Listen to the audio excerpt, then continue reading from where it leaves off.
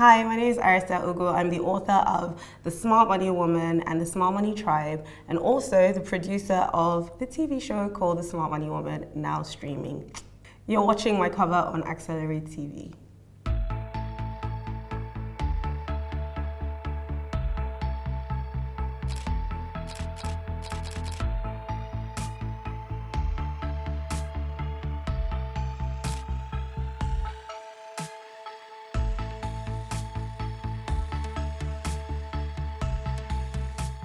I'm Arese. I'm a Bini girl.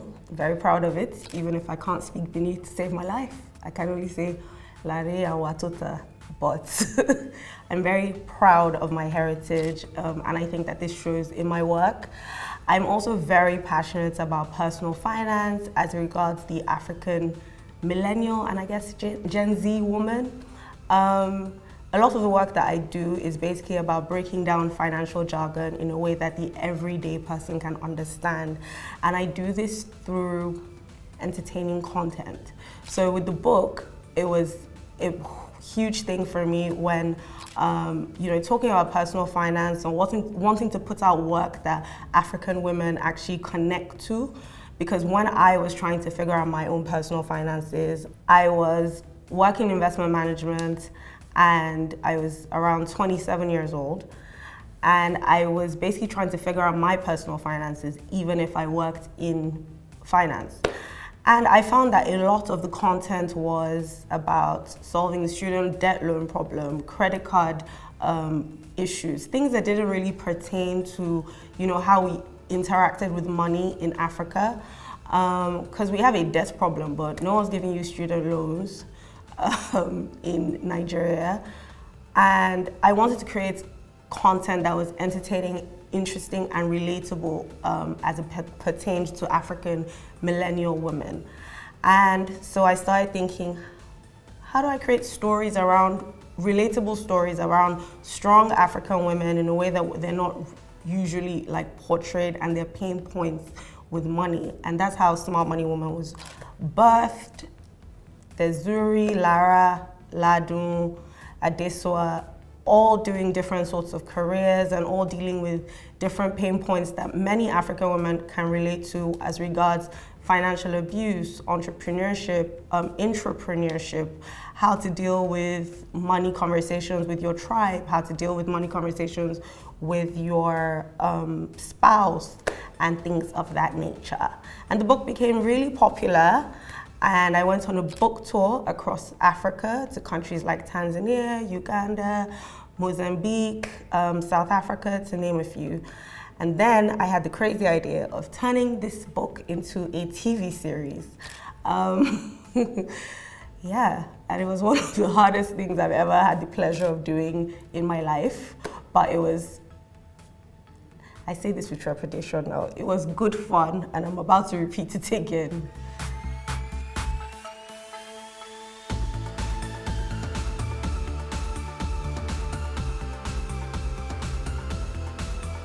Well, I go through obstacles like everyone else. Um, obstacles with regards to finding capital to pursue the projects that you want to, building a team that's skilled, um, getting people to take your ideas seriously. But I think my motto in life is just, you know, do your best. Don't think about who has done it before and it didn't work out, so don't think about who is a naysayer. Just keep going, regardless of the circumstances in the country, because no matter how much we complain, there's still people who are making money. Um, and I think that women need to, you know, focus on what they're good at, how they can monetize the things that they're good at. Because one thing for you to be passionate is another thing for you to be resilient, you know, enough to overcome the obstacles that are going to indefinitely be in your way, whether you're in Nigeria, whether you're anywhere else. Even if I will say, the obstacles in Nigeria are a bit different. They prepare you for, like, they prepare you for war. I feel like if you're a Nigerian entrepreneur, um, you wake up in the morning ready to eat problems for breakfast. And if you're a Nigerian entrepreneurial woman, those problems are probably twice the size, um, you know, for men. But in the spirit of International Women's Day and you know breaking the bias, I think it's important for us to also think about um, the economic impact that women have when it comes to just everything in general. Leaving women out of the conversation or women not being a part of the conversation and not having economic power, I think, you know, limits us. So I'd love for the focus to be on economic empowerment for women as opposed to just fighting for a seat at the table. How do we make money? How do we invest more money? How are we decision makers in the places that matter? Hmm, I'm just trying to think about what is most important to me, or whether it's a skill or a value. But I think one, resilience. I think that resilience is really important. Um, because, like I said before, you're going to face so many obstacles, and if it's great to have an idea, but it's another thing to be someone who can actually execute it. And when you're coming from a developed country, you know, like Nigeria, there are lots of things that are not you know, spelled out. There are lots of like journeys that you're going to start and you're the first to do it the way that you're doing it. So you have to be prepared for the obstacles. And I think that when, you know, you're in that mindset where it's like, I have a vision, no matter what happens between point A and point B, I'm going to make sure that that vision is executed. So it doesn't matter what obstacles come your way, your resilience sort of gets you through it. So I guess that's one. Um, the ability to bring people together. I think it's important, you know, as a leader on any project or, you know, anything that you're doing to be able to sell your vision or your idea to all the different stakeholders. And that's a big part of, you know, getting anything done bring people together in terms of like your team that you're going to work with, bring people together in terms of like investors. You need to be able to articulate yourself in a way that helps you stand out. So why should these people work with you as opposed to working with other people? Why should investors put their capital with you as opposed to um, putting it in you know another idea? So I think it's important for you to know how to articulate your vision and know how to sell it to um, the different stakeholders.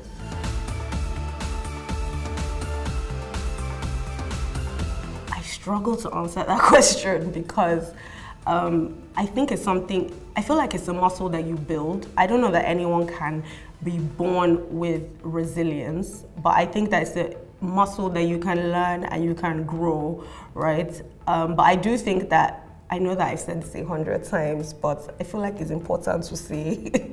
I do feel like you start to learn about resilience from a very young age when you're from a developing country because you start to experience the obstacles a little bit earlier, you know, than most people. You start to experience, you know, not getting the things that you set out to do or, you know, different setbacks and how you deal with those setbacks, I guess, helps to build your resilience.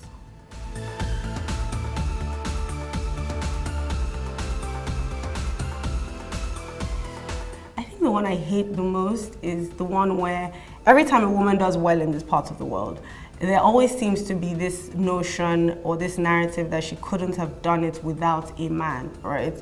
So either she came from a family where she got it, it was inherited or she slept with someone to get there.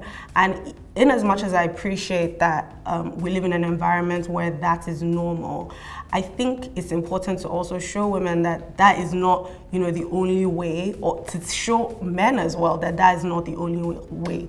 That there are lots of women who can be resourceful, who can climb, you know, the ladder without doing the things that they accuse them of. So I think a lot of my work is also showing the alternative um, routes that women can take when it comes to spending, when it comes to investing, you know, and you know, when it comes to basically building something that actually matters.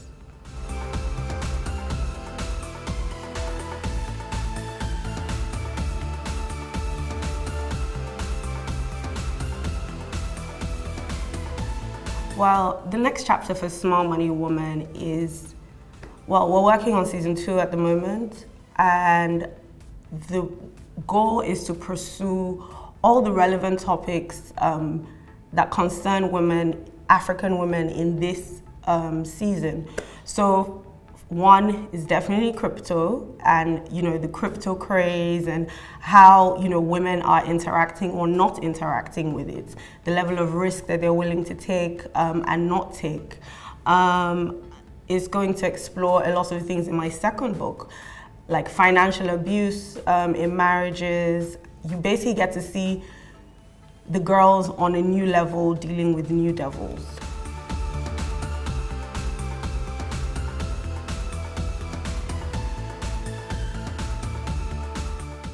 Um, I think in general, I'd love to see more women occupy um, positions that are decision-making positions, especially when it comes to the money. The women who are actually signing the checks and making decisions about the checks. Because it's all well and good for women to rise in, you know, professions where they're in charge of the storytelling and managing human capital. Um, but I think that we need to be at the table when it comes to discussing checks.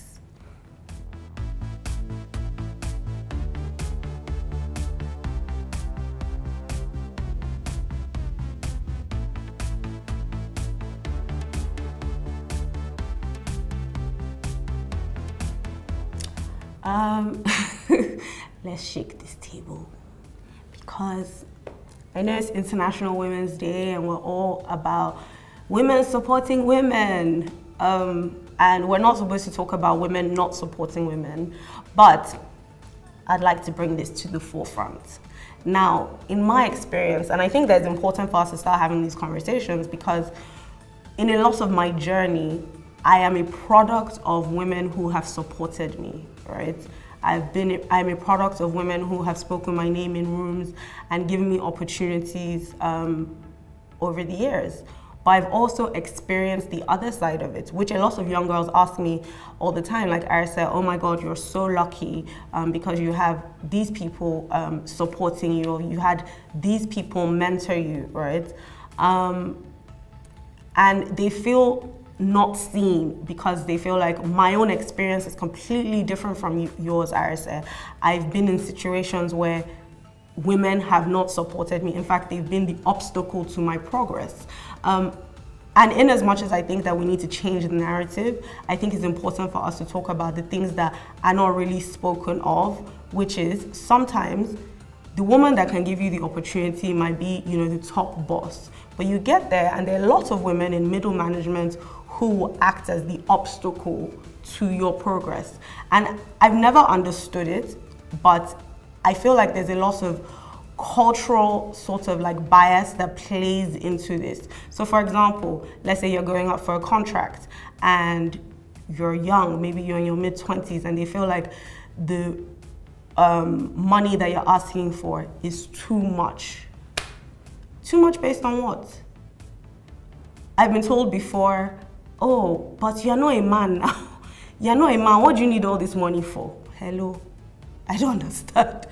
Or, you know, or she likes, or she's too young. Why should we give her um, this position? Or the contract is too big. Meanwhile, when they're, when they're assigning um, or when they're assessing a man for the same exact thing, they don't have these issues. In fact, they're speaking to the men. I've been in meetings where I definitely ask a man to be part of the meeting because I know that the woman in the meeting might be a little bit nicer to him because he's a guy. So I think that it's important for us to really look at look at ourselves and ask every day when you're going to work, when you're running your business, am I a woman who is supporting other women or am I a woman who is making myself, you know, an obstacle because I feel like not talking about it doesn't make the problem um, better. We need to be able to show both sides um, and overcome both sides.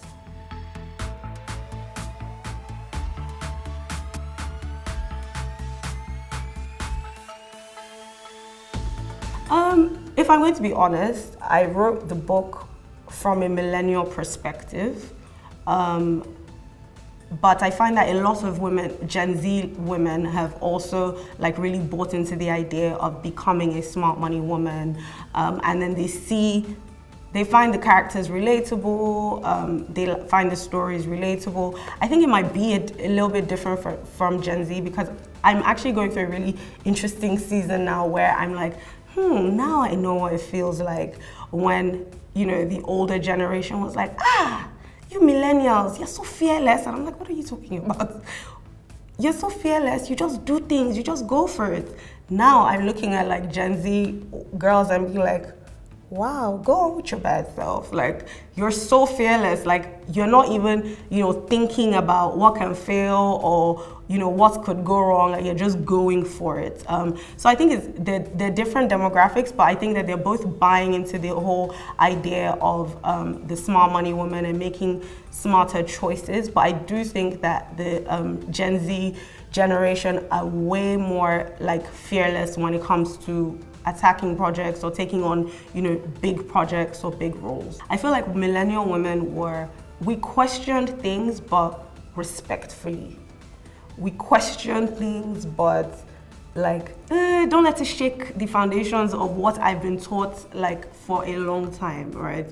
But I like, I love the Gen Z um, generation because they make me question things as well. Like, so sometimes when you see something that is like super crazy or feels so like out there, like, how dare this person say this? But actually, how dare they not? And why did we not say something or speak up like sooner? Um, so I definitely love it. I think that a lot of the things that say like Adesua, one of the characters in my book or in the show, um, goes through, a lot of Gen Z women would have been like, Psh, hell no, that is not happening. But a lot of the, the women in my generation could find themselves in that position because of where we are trapped mentally in terms of what a woman should be and shouldn't be and what um, constitutes success as a woman, whether you have a big career or not.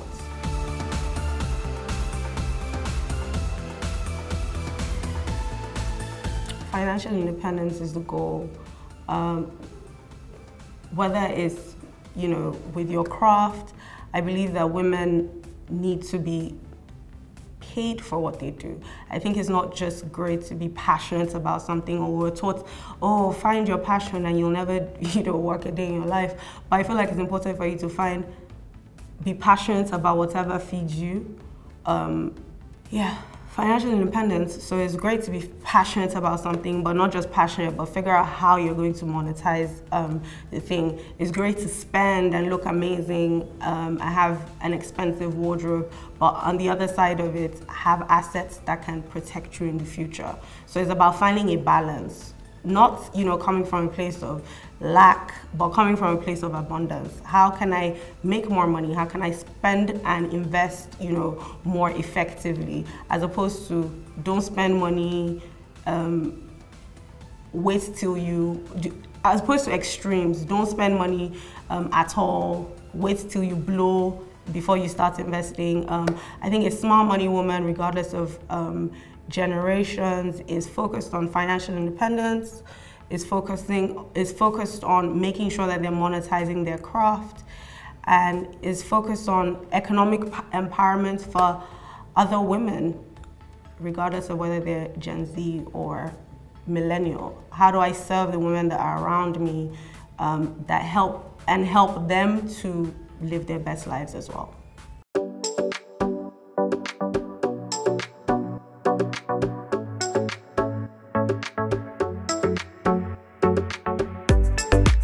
For watching my cover on Accelerate TV. My name is Arese Ugwu.